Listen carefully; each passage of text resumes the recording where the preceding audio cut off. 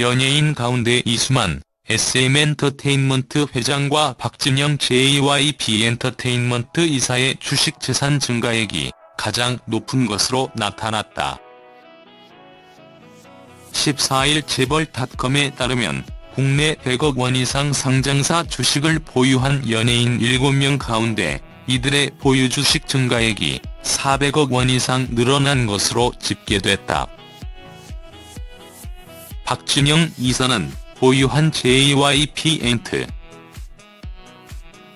지분의 가치가 730억 원으로 1년 만에 2.7배로 불어났다. 증가액은 무려 462억 천만 원에 달했다.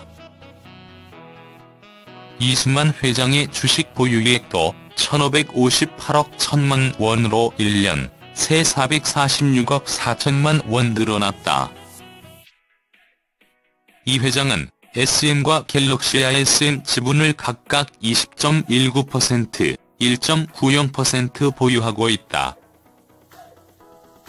하명준 오뚜기 회장의 장녀인 뮤지컬 배우 하면지 씨도 보유한 오뚜기 지분 1.16%의 가치가 311억 2천만 원으로 1년 전보다 56억 4천만 원 늘었다.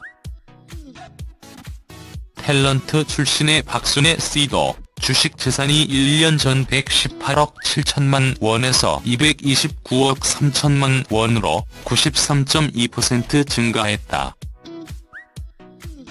박 씨는 풍국 주정 지분 13.29%를 갖고 있다. 반면 양현석 YG엔터테인먼트 대표는 주식 재산이 951억 3천만 원으로 1년 전보다 1.5% 줄었다.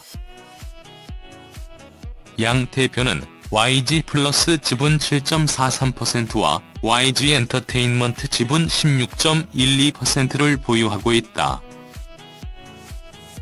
키이스트 지분 25.12%를 가진 최대 주주 배용준 씨의 주식 자산 가치도 429억 원으로 1년 전보다 9.8% 감소했다. 한성호 FNC 엔터테인먼트 대표의 보유 주식 재산도 270억 7천만 원으로 11.9% 줄었다.